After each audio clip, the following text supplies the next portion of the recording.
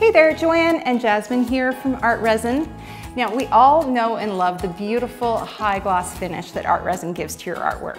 But what if you want the protection that Art Resin gives your art and that beautiful color enhancement that it gives, but you don't necessarily want that high gloss finish. You want more of a matte finish. Well, Jasmine and I have been doing a little experimenting and today we're gonna walk you through step by step how to do it. So Jasmine's been busy preparing lots of artwork here to show how to get the matte finish. So she's gonna walk us through step by step. Yeah, so here's what a piece looks like. That's half and half done. Here you see the glossy part, that's art resin. And you can see this side also has art resin on it, but I've mattified it. It has a different effect.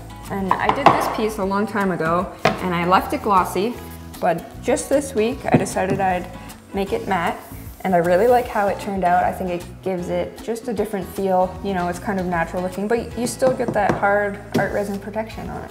Exactly. And this is a technique too you can use on your art or you can use it um, on wood as well. It yeah. works beautifully for wood. So. Okay, Jasmine, so the first step obviously is to resin your artwork. Now, because we're gonna be sanding, do you think one coat is enough or would you put two coats of resin on? So for this project, uh, we're gonna be using really fine grit sandpaper because we're not really taking a lot off the top. So we can do one coat or you can do two if you felt like it.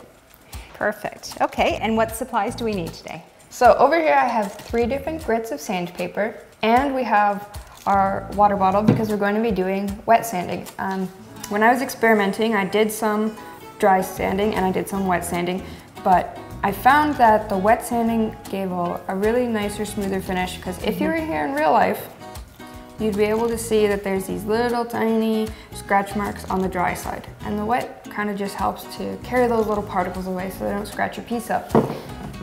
What we have is our water and some lint-free cloths um, for that process. And to finish our pieces off, we're going to be using the tung oil and the cutting board wax and I'll show you how that works when we get there. Perfect. And the last piece of equipment that we need um, is a dust mask. So anytime you're gonna be sanding resin, you definitely wanna be wearing a dust mask so you're not breathing in any particles. Mm -hmm. Okay, so um, to sand these pieces down, uh, for a small piece, hand sanding is absolutely perfect, but if you've got a larger piece, you probably wanna use an electric sander. So we're gonna be showing you both ways. Alrighty. Okay. Yep, masks on. Let's get started. All right, so let's get started. I'm gonna start with a 320 grit here, and I'm just gonna do this side of the piece so we can see the difference at the end. Here we go. We're starting with 320, which is a fairly fine grit. The higher the number, the finer the grit is. So we're not doing something low, like an 80 or a 100 even, because you're gonna end up scratching up your piece too much and it's gonna take forever to try and polish all that off. And you just don't need it for this technique. So Start with your water. Give her a good spray. You kind of want to get your sandpaper pretty wet for this, so you're to hold it. And start working it in small circles around when you're wet sanding, like this. Takes a bit of elbow grease. So you get little circles all the way around. You want to get everywhere. So you're going to try and work it up to like a gritty paste. So we're finally coming to see this, this paste that I was talking about. You can see it looks a bit like toothpaste. Now, once that, that paste that you're see forming gets too dry, that you wet it thoroughly and you wipe it off with your cloth. Don't be afraid to like really saturate it. You do want to work really wet for this. And then you can start the process again by wetting your piece, wetting your sandpaper if you like, and starting to sand again. So I'm sanding with 320 still, and I'm sanding until I see that they're absolutely everywhere, until they're even across the entire piece that I'm doing. So you're basically trying to get it as even as you can with each level of grit that you're using.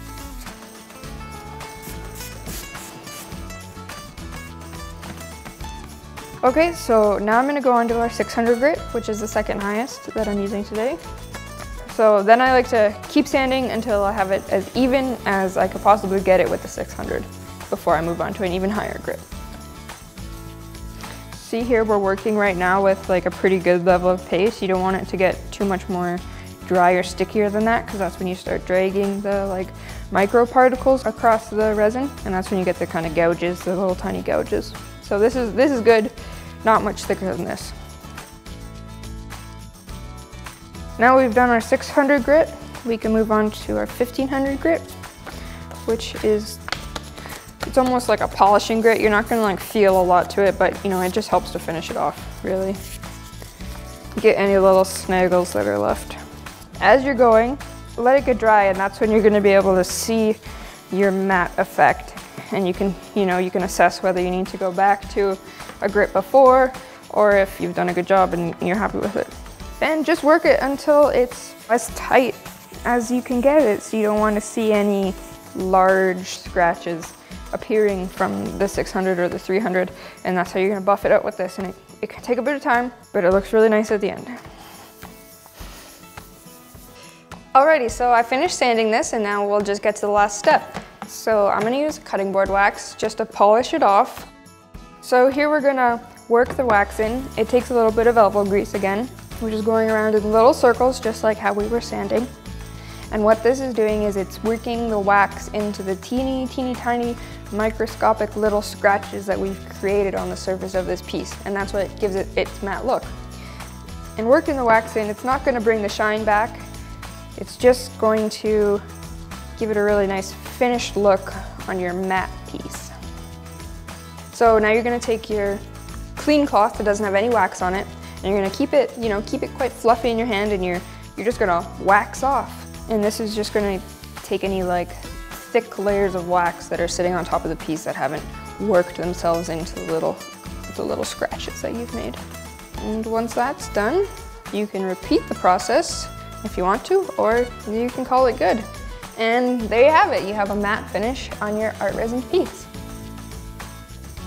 So with the electric sanding, it's pretty much exactly the same process. So you're gonna be making your way from 320 grit up to 600 grit, up to 1500 grit. And in between each grit, you're gonna be spritzing it down with water and then wiping it dry and then spritzing with water, wiping it dry. You're gonna repeat that probably three or four times per grit. So don't forget to hold your piece up to the light to make sure you haven't missed any spots with the sander. Especially pay attention to the edges. All right, I'm back. I'm finished sanding my piece with the electric sander. Uh, I wish you could feel how soft this is. It's absolutely beautiful. So uh, it's got a great matte finish and my last step now is just to finish it off. So you can use an oil, you can use a wax. Um, this tung oil here, it actually has kind of a brownish color, so I'd probably reserve this for wood uh, rather than a piece of artwork, um, but it's up to you. I'm gonna use this cutting board wax. Uh, you can use furniture wax as well. I like the cutting board wax because it is for cutting boards. I know it's non-toxic and we're all about non-toxic here at Art Resin. So this is what I'm going to use. I've got my lint-free cloth here.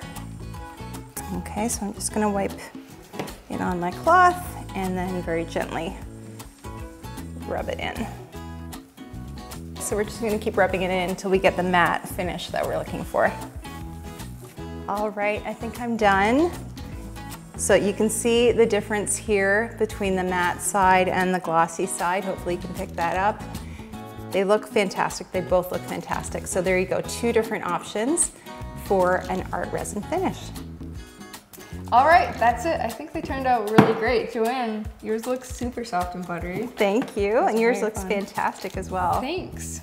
Well, I hope you enjoyed um, learning how to do a matte finish. Remember, you can do it on your artwork. You can do it on wood as well. And one of the great advantages actually to using it on wood, a matte finish on wood, if you have something like a tabletop, um, it makes it a little more scratch resistant. The matte finish kind of hides the, yeah. the scratches a little bit more. So that's a handy tip for doing a table with wood.